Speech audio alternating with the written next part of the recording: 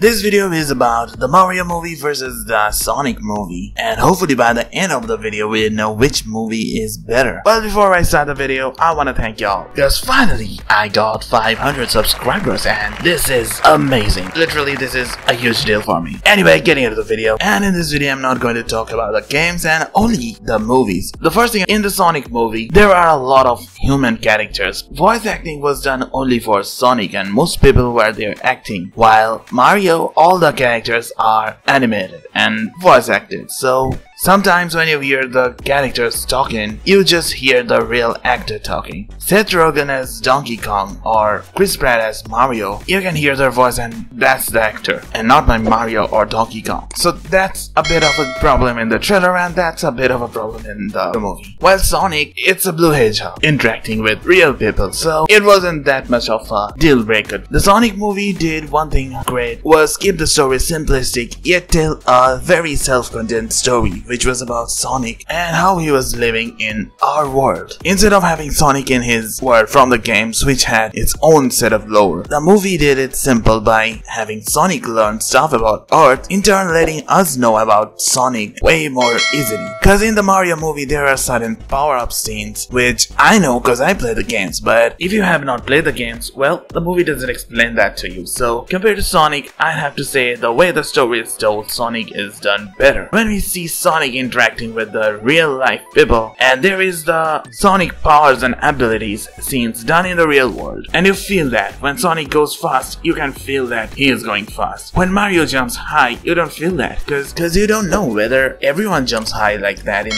that planet or Mario has some special powers which was not explained properly. And as for the characters and their chemistry I'd say Sonic handled that much better cause Sonic and Cyclops, well I mean the actor who played Cyclops from the X-Men movies. Their chemistry was on point and, and there were scenes where I was laughing, like really laughing. But Mario had a very less of situations like that and even some of the times I did laugh were when they referred to the games, which if you have not played the games you wouldn't understand. Now in Mario movie, Mario and Luigi had a good chemistry, but they get separated. And other than that, there was no other characters with good chemistry, so some of the scene does feel like they are staying longer than they should. So Overall, if I have to say, compared to Mario, Sonic was a much better movie. And that's it for today's video and I hope you like my video and if you did, please hit the like button, subscribe and let me know in the comment whether you agree or disagree to what I said in this video and in turn increase my engagement and I will probably get more views